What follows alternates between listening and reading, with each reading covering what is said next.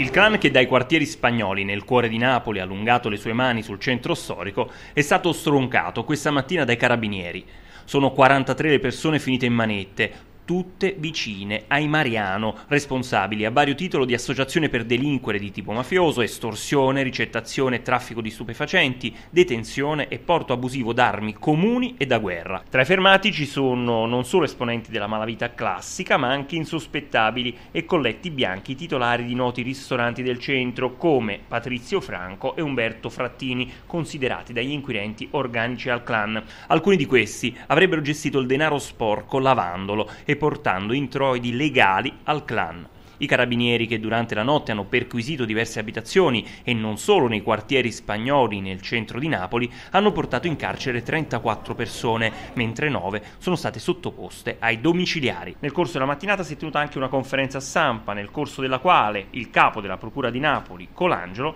ha spiegato i motivi dell'arresto. Dimostra che la criminalità organizzata non è un'isola, non è un compartimento stagno, la, la, criminalità organizzata opera nella città, all'interno della città, inevitabilmente viene a contatto anche con persone che svolgono le attività più disparate e ancora una volta sono una fonte di eh, inquinamento del legittimo esercizio delle attività del lavoro di tutti e dello sviluppo della città. L'indagine ha dato risultati importanti che sono in corso di valutazione, di sviluppo e noi ci auguriamo che possano venire chiavi di lettura per i fatti recenti, ma sono in corso tante altre separate attività investigative che ci auguriamo possano portare profitto nei prossimi tempi.